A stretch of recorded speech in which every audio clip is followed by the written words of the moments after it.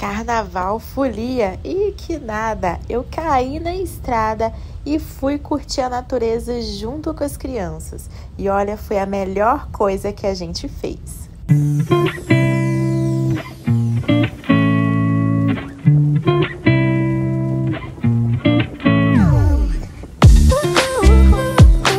Chegando na fazenda, nós tivemos uma experiência super legal. O feijão tinha acabado de ser colhido e a gente ia ajudar a debulhar, ou seja, descascar aí o feijão, né? Mas o correto a se dizer é debulhar o feijão, como você pode ver aí na tela. Olha, eu fiquei um tempinho ali debulhando o feijão e confesso que foi um pouco terapêutico, tá?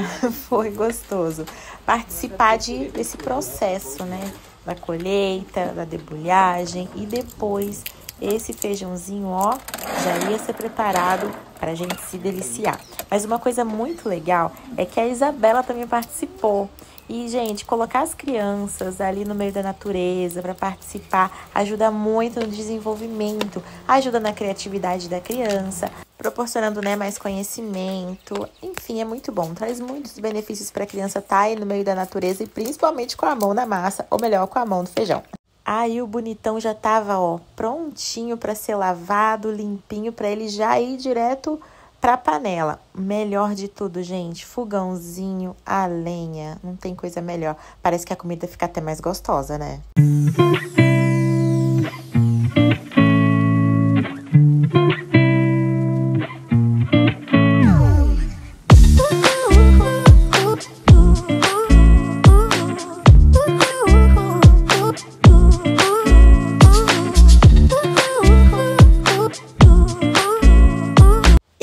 feijãozinho já tava como, gente? Já tava no jeito, ó.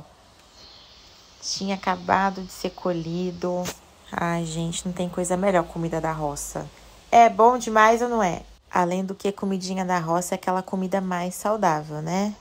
Se acabou de colher, já vai comer. E falando em comer, dá ali meu prato de pedreiro e a gente come ali, no meio da natureza mesmo. Do jeito que a gente gosta. Música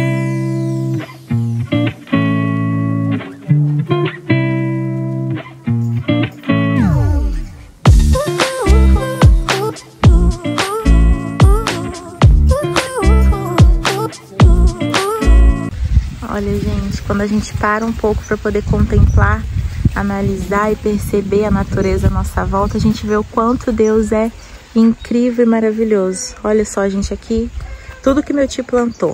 Tem milho, tem pepino ali, tem laranja, tem limão, tem feijão, como vocês puderam ver. Olha só. Deus é perfeito e maravilhoso. E a Bela também. Você gosta da natureza, Isabela? Sim. Ela é uma bênção de Deus, não é?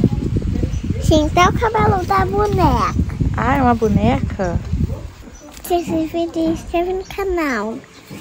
Aproveitei para poder ensinar um pouquinho para Isabela, né? Da onde que vem os legumes, as frutas, sobre a plantação, quem plantou, por que plantou, como é que faz para as plantas crescerem. Isso tudo ajuda muito né, no aprendizado da criança. E isso também incentiva para que a criança é, respeite a natureza, né? Tenha consciência ambiental. Olha só, esse é um pezinho de feijão. Eu achei aí plantadinho para mostrar para vocês como é que fica. Isso é pepino. Vamos achar mais fruta. Vamos achar. Não, é legume. Isso não é fruta, isso é legume.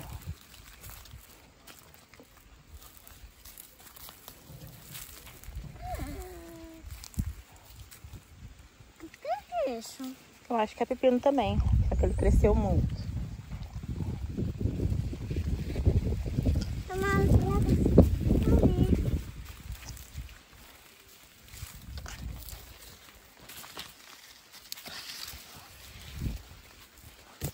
Ah, um pepino.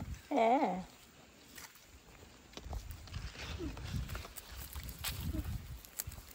Um pepino pequenininho, ó. Deixa eu ver. Ah, que legal. Tinha um grande aqui. E a Maria no meu colo, ó. Aproveitando e aprendendo sobre a natureza também. Mais, mais Tá vendo? O pepino nasce assim, na terra. O vovô plantou, aí nasceu. Deus mandou a chuvinha para poder regar. Aí nasceu tudo. Uhum. E para espantar o calor, é claro que a Maria tomou aquele banho de balde, porque é assim, gente, filho de mineiro raiz toma banho de balde. Olha essa coisa mais fofa. Eu acho que ela amou. E quando a gente fala de natureza, a gente gosta de quê? De cachoeira, de praia, mas aqui a gente curtiu uma cachoeira. Ah, gente, que delícia. Foi a primeira vez da Isabela na cachoeira e ela amou, ficou encantada com tudo, se divertiu bastante. A Maria já não gostou muito não.